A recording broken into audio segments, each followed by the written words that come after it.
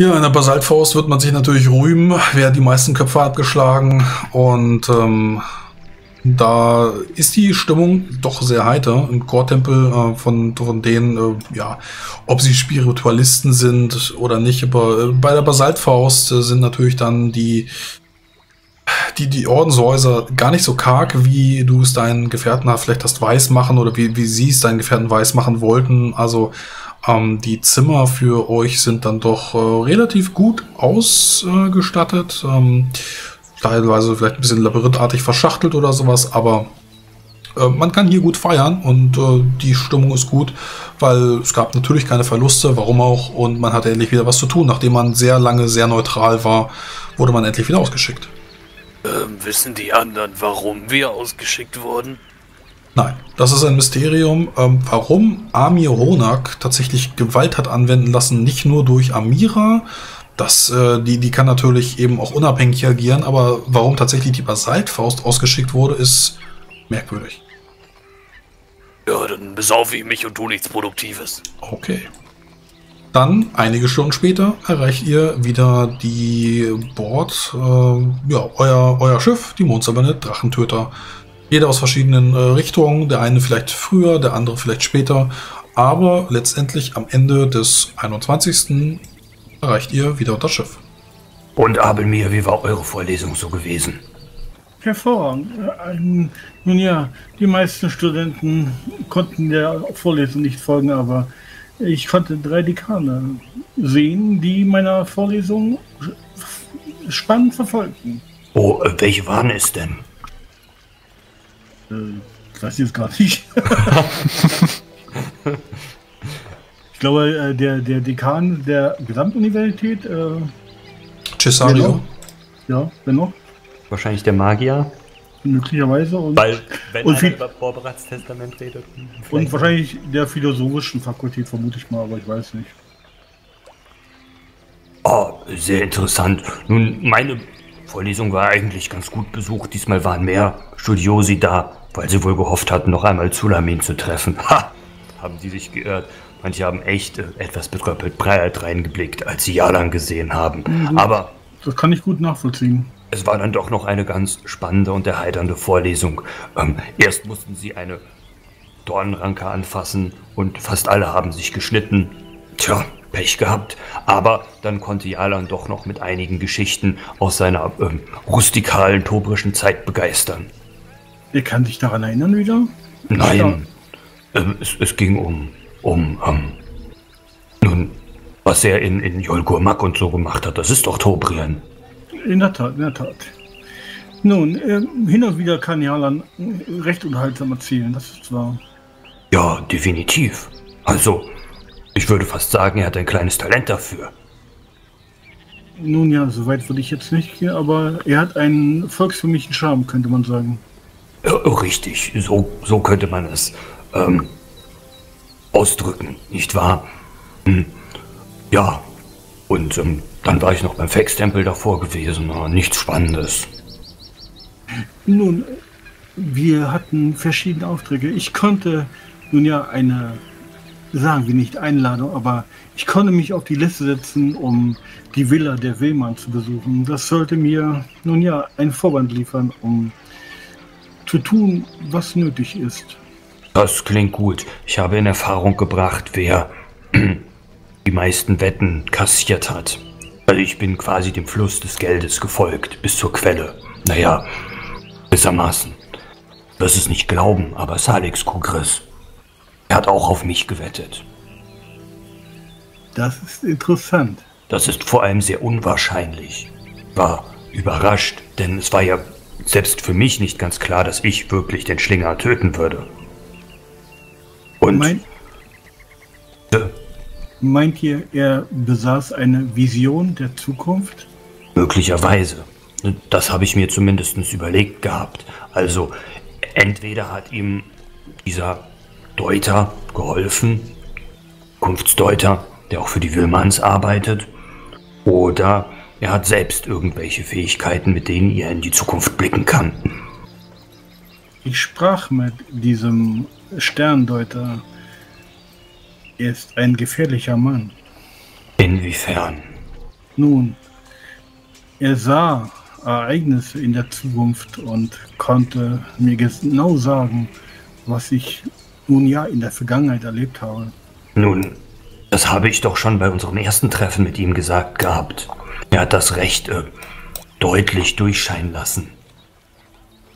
Erinnert ihr euch? Ja, ich, ich, glaubt euch nicht, aber vielleicht sollten wir uns bei Zeiten um ihn kümmern. Ich verstehe, was ihr meint. Der Letzte, der weit in die Zukunft blicken kann. Ihr erinnert euch noch an diese Hellsichtsakademie. Er hat keinen Einfluss auf die nun Aspekte genommen, aber wenn er es euch so bereitwillig mitteilt, könnte echt ein wahres Problem darstellen. Zudem, ich weiß nicht, ob ich es falsch wahrgenommen habe. Ihr erinnert euch an den, den, den Metropoliten der Pereinekirche. Ja, Er besaß doch dieses dritte Auge. ja, ich äh, erinnere mich. Ich habe es ein ums andere Mal gesehen. Zweimal insgesamt. Äh, einmal, als er Rafim geholfen hat, als wir in. Oh, das war, nachdem wir einen Ausfall gemacht hatten, ähm, um, um, um äh, Helma Hafax zu treffen, als wir unter dem Fluss hindurchgelaufen sind und Rafim von diesem elburischen Messer verletzt worden ist. Nach waren wir ja beim Metropoliten gewesen. Ähm, er hatte uns das Auge offenbart und strömte eine enorme Kraft davon aus. Und dann das zweite Mal, nun ja, ihr erinnert euch ja, da waren wir gemeinsam. Ja, nun, ich glaubte zu erkennen, dass er ebenfalls ein verborgenes drittes Auge hat. Oh. Hm. Das macht die Sache kompliziert. Und interessant. In der Tat würde das das Erste unter uns belassen, müssen Jalan oder Zulamin nicht mit derlei Dingen behelligen. Ja, wir sollten uns vielleicht auch informieren, woher dieses dritte Auge stammt. Denke auch. Die Bibliothek wird sicherlich einiges hergeben. Dann äh, sollten wir auf jeden Fall uns jetzt mit den anderen zusammensetzen und die äh, wesentlichen Punkte zusammentragen. Äh, habt, habt ihr euer Geld kassiert? Äh, selbstverständlich, selbstverständlich. Zumindest das, was nach diesem Überhang äh, noch zur Verfügung stand. Insgesamt habe ich 3000 gewonnen. Ah, die Schiffskasse wird sich freuen. Äh, ja, hier sind 2000. Bitteschön. Äh, ihr sagte 3000. Richtig, 1000 habe ich investiert. In was? In ein Waisenhaus. In ein Waisenhaus. Ja, also 500 für die Errichtung des Waisenhauses und 500 als Rente für die Person, die das Waisenhaus betreibt. Ein gewinnbringendes Investment. Oh, Jalan, einen schönen guten Tag. Ja, es war ein wirklich gewinnbringendes Investment. Ich habe gewissermaßen in die Zukunft investiert. Auch Sudamin kommt herein und sie hat spektakulär gute Laune. Ah, das seid ihr ja alle. Ich habe den ganzen Nachmittag mit Kiaros über Pferde gesprochen und es war großartig. Nun, schön zu sehen, dass wenigstens einer von euch, von uns sich um wichtige Dinge zu bemühen scheint. Ja? Bitte. Ah, hier seid ihr alle. Ah, Rafim ist noch nicht zurück. Nein, er wollte in den Chortempel. Vermutlich liegt er gerade irgendwo, entweder halb ausgeblutet oder halb besoffen in einem, in einem Straßengraben. Hm, Ja, das sind ja auch schon wieder Unterstellungen, die ich höre, wenn ich hier reinkomme. Das ist ja auch schon wieder wirklich. Nun, du siehst zumindest so aus. Ach, wie habe ich dich Ja, ich habe auch einen im Tee, sei ehrlich. Nun, ähm, ich würde vorschlagen, wir tragen einmal zusammen, was wir heute erreicht haben. Den meisten habe ich ja schon ihr Geld gegeben. Diamantes, hier ist dein Säckelchen. Ah, ja, genau, Boltax, darauf wollte ich dich ansprechen. Der vom Markt wollte er, dass ich direkt alles bezahle. Ja, kein Problem. Hier, alles. Alles, was du gewonnen hast. 400 sind es. Zähl am besten nochmal nach. Bei den Golem kann man sich nie sicher sein. Ah, Und- in Ordnung, danke. Alles, alles gut sonst bei euch? Äh, Ich äh, hatte einen geselligen Abend, sagen wir es so. Ich habe Koragon getroffen. Ach, äh, Koragon. Interessant. Er hat Ulamin? auch ein paar interessante Informationen mitgegeben. scheint, dass äh, der Großadmiralismus äh, Willmann zumindest Gerüchte halber gar nicht in der Stadt ist, aber Koragon selbst sagt, er glaubt das nicht, dass äh, er sich nicht auf ein Schiff wagen würde. Gerüchte halber ist er nach Silla unterwegs, um sich mit Bonnaret zu treffen. Nach Silla. Wollten wir da nicht sowieso hin, wenn wir nach einem. diesem, wie hieß er noch gleich suchen? Charlonna, den haben wir scheinbar auch verpasst. Er ist äh, wieder unterwegs nach Charipso.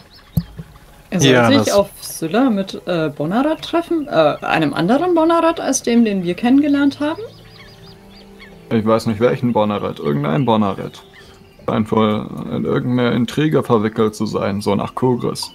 Aber ich weiß auch nicht, ob dieser äh, Willmann wirklich in Silla unterwegs ist oder nur das nur falsch gestreute Informationen sind.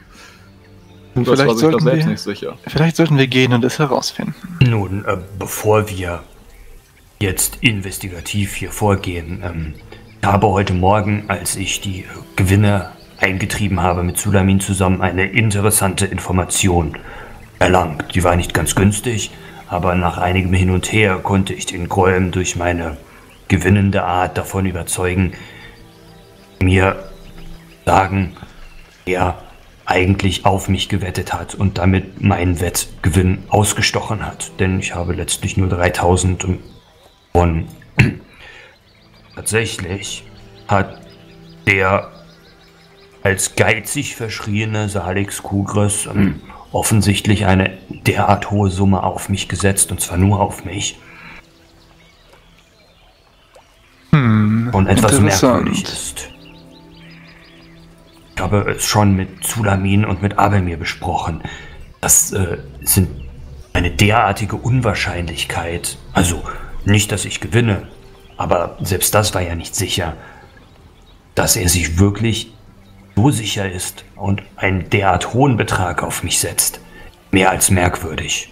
Nun, vielleicht sollten wir da auch noch einmal nachhaken, wenn sich die Gelegenheit bietet. Hm, ich denke auf jeden Fall.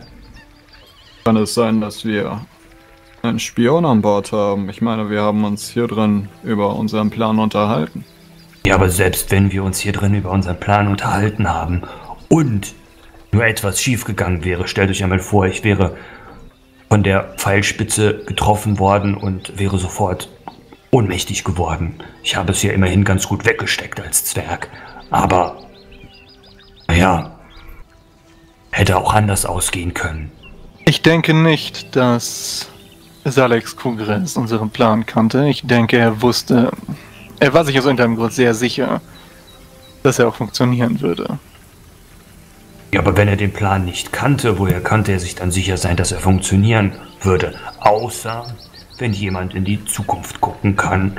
Und da hätten wir ja jemanden, von dem wir es zumindest annehmen. Das erscheint mir sehr hanebüchen. Nein, Ich denke, hypothetisch hätte er davon erfahren können, auf was wir gesetzt haben. Ich denke, als Grande könnte er durchaus an diese Information gekommen sein. Das zeigt Aber- allerdings sehr viel Vertrauen in unsere Fähigkeiten. Eben, und das kann ich mir nicht vorstellen. Also zumindest nicht, wenn Koragons Einschätzung seines Verwandten zutreffend ist. Allein. Vielleicht sollten wir dem Mann ein paar Fragen stellen. er, er hat gesagt, kein Heller würden wir aus Salix herausbekommen. Wir sollten die Möglichkeit in Betracht ziehen, dass Koragon Kugres vielleicht auch nicht exakt die gesamte Wahrheit sagt. Hm? Nun, das ist sicherlich möglich. Vielleicht können wir einfach einmal mit Salix reden. Ja. Am besten ohne, dass eine liebe Verwandtschaft davon erfährt. Ein guter Plan. Ansonsten habe ich ein Waisenhaus gespendet. Ein Waisenhaus. Hier. Natürlich. Im Schlund. Ah, tatsächlich. Naja, ich war heute bei der Fexkirche und habe es in Auftrag gegeben, 1000 Dukaten. Ja, Und wusstet ihr, dass es dort einen Firun-Tempel gibt? tatsächlich, ja. Ähm, interessant, jedenfalls. Das Waisenhaus meine ich. Mhm. Ich habe mir überlegt, es Wolltagsheim für notbedürftige Kinder zu nennen. Und ihr habt schon über die Bewachung nachgedacht? So ist es kein Gefängnis, sondern ein Waisenhaus. Ich denke nicht, dass ihr etwas draußen halt, äh, drinnen halten wolltet, sondern eher Leute draußen. Hm, ich verstehe, ich verstehe. Nun, das muss der von mir eingesetzte Verwalter dann regeln. Ja, Wir die werden werden ja- euch die Scheiße klauen. Werden ja nicht ewig bleiben. Nun, ich, wenn ihr wollt, äh, Abelmir und ich gehe wohl zu seinem Schutz mit. Äh, er sieht sich vielleicht zwischendrin den Bau einmal an, nur um sicher zu gehen, dass wir nicht übers Ohr gehauen werden. Ihr, ihr wollt in den Schlund? Seid ihr verrückt? Ja, ist eigentlich ganz nett da. Es ist alles andere als nett im Hat ihr Schlund. schon im Schlund, Jalan? Ich hörte ein oder zwei Dinge darüber, wie man sich da drin verhalten muss, um nicht ausgeraubt zu werden. Nun gut. Ja, nicht hineinzugehen, ist das, bitte das beste Namentlich, Mittel. indem man einfach nicht so aussieht, als wenn man etwas das geraubt werden könnte. Äh, dem auch Und äh, wenn die. Herren, wenn die Herren mich entschuldigen möchten, ich denke, ich sollte Borromeo einen Besuch abstatten, bevor man ihn ausschifft. Äh, gut. Nun, wenn du unbedingt in den Schlund möchtest, ich werde sicherlich den Bau ein, zweimal beaufsichtigen. Bin immerhin am besten, ja, am besten sollten wir uns dies dann alle der Sicherheit halber gemeinsam ansehen. Und wir sollten ein paar Dukatengardisten mitnehmen. Ja, im Schlund ist es ein guter Ort, um abgestochen zu werden. Zum äh, Thema Borromeo. Vielleicht, was haltet ihr davon, wenn wir äh, anfragen würden, ihn freizukaufen? Ich hatte eigentlich Pläne für ihn auf Santobal, aber sagt mir, was habt ihr vor? Ich habe keine wirklichen Pläne mit ihm. Ja. Äh, Hat mir aber mein Leben gerettet. Hätte er mich da nicht rausgezogen, da hätte mich diese verdammte Exo äh, wahrscheinlich. Ich Nun, weiß dann- nicht, was sie mit mir gemacht hätte. Aber Dann lasst mich euch versichern, dass ich nicht vorhabe, ihn dort verrotten zu lassen. Zumindest hätte ich meine Waffe nicht mehr, meine äh, Bitsy. Und das ist genauso, als hätte er mir das Leben gerettet. Ja, aber er wird teuer sein, wenn ihr ihn kaufen wollt. Ich frage nach, ja? Jalan hat doch eine Idee, was er mit ihm machen möchte. Ah, Ich wollte euch nur warnen. An was hast du denn gedacht, Jalan? Ach, wart es ab.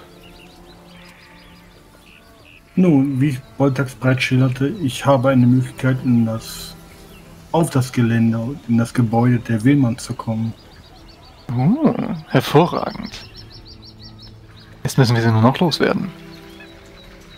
Das Gebäude meine ich natürlich, Rafim, nicht die Wilmans. Natürlich. selbstverständlich. Ja, und wenn einer der Willmanns ganz plötzlich verschwindet, Jalan, dann wirst du auch ganz plötzlich im Hafenbecken landen. Auch daran ganz plötzlich zu verschwinden, habe ich Erfahrung. Ja, das würde ich dir dann auch empfehlen. Moment. Also, wenn jemand von dieser Jo. Familie stirbt, wird Jalan zur Verantwortung gezogen. Ich werde Dann nicht hoffen wir, zulassen, dass- dass ihr einen von denen umbringt. Ja. Dann hoffen wir einfach mal, dass die Wilmans in nächster Zeit eine Leidenschaft des Schlingerzüchten äh, an sich anwachsen lassen. Auch so Boltax wie du nicht zulassen würdest, dass ich einen Hochkönig oder seine Familie umbringen würde. So viel Sami nicht zulassen. Ja, Raswin, wir haben es verstanden. Lass töten. gut sein, lass gut sein. Jedenfalls, wir sollten den Wilmans einfach eine sehr eindeutige Nachricht übermitteln, dass es in ihrem besten Interesse ist, die Sache mit dem Großadmiralissimus sein zu lassen. Denn faul wie Scheiße, die wollen das eh nicht machen. Ah, Nun, umso besser. ich habe außerdem noch ähm, einen interessanten ähm, Zusammenhang herausgefunden. Wir haben uns ja mit dem Vogtvikar getroffen, also Zulamin und ich. Und ähm, dabei haben wir zumindest anteilig gehört, dass wohl gerade die Erben der, oh, wie hießen sie noch, Ulfarts? Ja, Ulfarts, ähm, wohl gefunden seien und die entsprechenden Bemühungen jetzt angestrebt werden. Oh, tatsächlich. Ich habe, ich habe gesehen, dass bei dem Anwesen einige Bewegung ist. Sie sind wohl schon eingezogen. Das war sehr schnell. Das dachte ich mir auch. Ja, sie wird vorbereitet gewesen. War ja schon alt. Ich habe mich Nun gut, dann- außerdem mit dem Vogtvikar derart geeinigt, dass er einen Kontakt zu diesen neuen Erben herstellt. Sie scheinen auch noch nicht so lange in der Stadt zu sein und nicht alles hier zu kennen. Vielleicht können wir das zu unserem Vorteil nutzen. Ja, aber warum nicht? Gute Idee. Gut mitgedacht. Nun gut, wenn ihr mich entschuldigen wollen. Äh, wohin gehst du denn? Bereits sagte, äh, zu Borromeo, wo er ausgeschifft wird. Ah, ja,